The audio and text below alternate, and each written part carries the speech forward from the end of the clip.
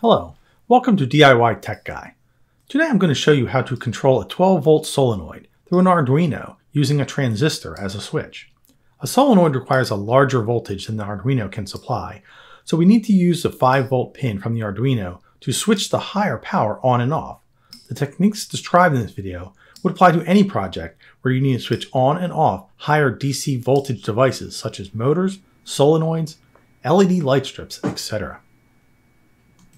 The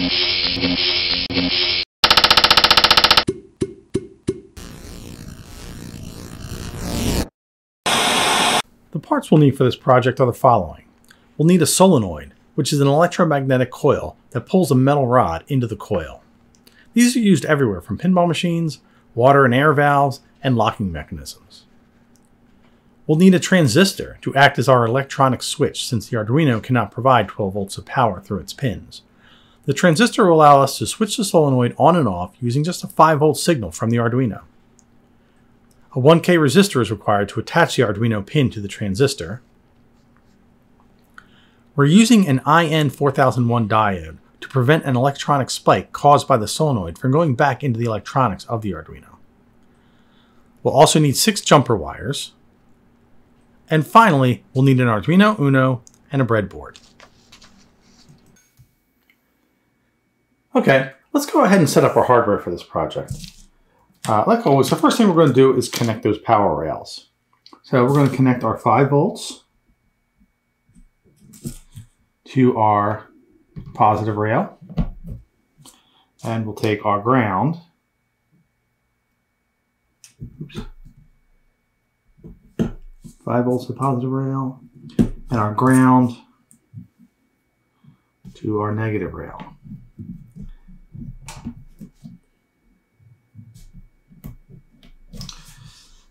Was a little sticky.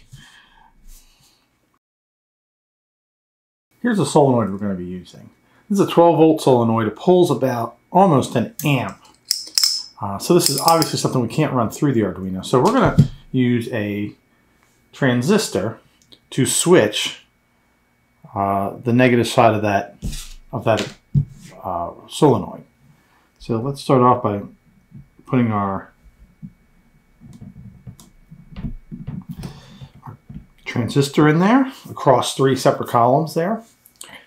And what we're going to want to do, we're going to take this back leg, the one all the way on the right, and we're going to bring that to ground.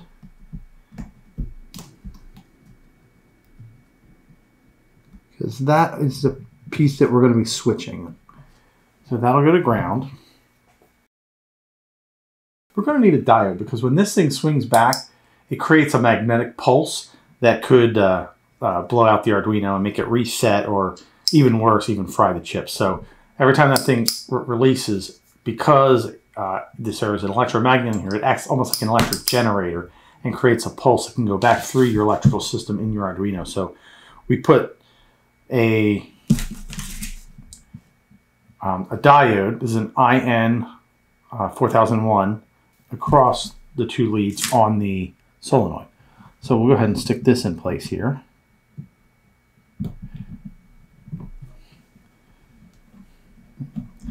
Get this right here.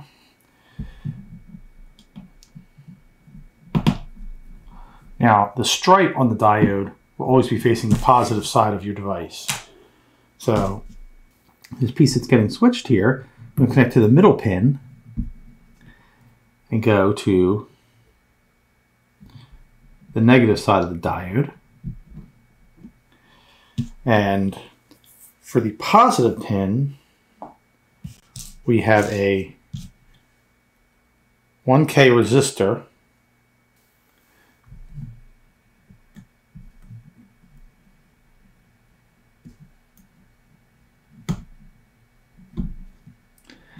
that we're going to bridge that little gap. And then from there, we're going to bring that to our control pin for the that we're going to use to switch this transistor. And we're going to use pin number 7. So when pin number 7 is high, it's going to close that switch and bring this solenoid to ground so that it is uh, that it is powered.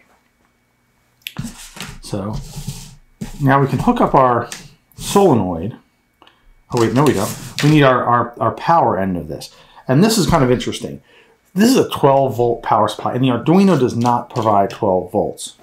But if we use a 12 volt power supply that has enough amperage to run the solenoid, we can plug that into our Arduino. Now our Arduino will automatically bring that down to 5 volts for the Arduino. But there's sort of a neat trick in here. There is a pin called VIN, and that's voltage in. And voltage in is usually used if you're um, bypassing uh, the barrel jack. And you'd see this mainly on a uh, like an Arduino Nano, which does not have a barrel jack. You always power your device through the VIN, and you could uh, put in, um, I think, up to 12 volts. It might be up to 24. I'm not sure. But if you do power it from here, which we're going to do, it also translates that to over here. So it's almost as if we're tapping into that original line, which is what you would normally do to split the voltages. So I can tap into VIN and bring that over here, and I'm bringing power directly to that to that set of pins there, and that's 12 volts uh, directly from the power source, and it's separate from the Arduino power because uh, it's prior to getting stepped down into 5 volts. Uh, we have our two rows of holes here. One is the positive 12 volt, which we want to put our red wire onto. And we'll stick that into there. And then the other is on our ground. And this is the switched ground that will be controlled by transistor. Let's see if I can get it in there.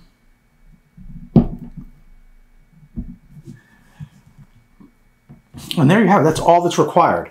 Now, when pin 7 is brought to high, the, the transistor will connect these two pins, which will allow the solenoid to retract.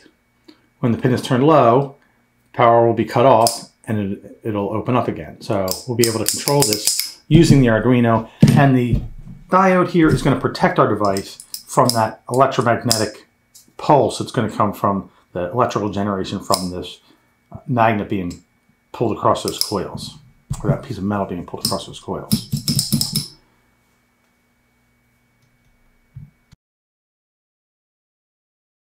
Here's one final look at our completed hardware build.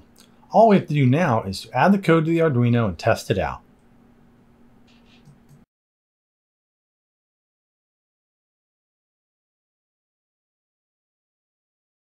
Let's go ahead and enter the code for this project. The code is rather simple as there isn't much going on here. We are simply controlling the transistor through digital pin 7 and we didn't add any inputs to this particular project. First, we need to declare pin 7 as a global variable called solenoid pin. We need to set solenoid pin as an output with this line of code in our setup routine. For our main void loop, we must first turn the pin high to switch the transistor into a closed switch position. This will activate the solenoid magnet, causing to pull the rod into the magnetized coil. We will hold it there for 2 seconds using this delay statement. Once the delay has completed, we will write the pin to low to turn the solenoid into an open switch state, thus releasing the rod from the magnetized coil. We'll delay for another two seconds and repeat the process indefinitely. Click the upload button. Oh, forgot to plug it in.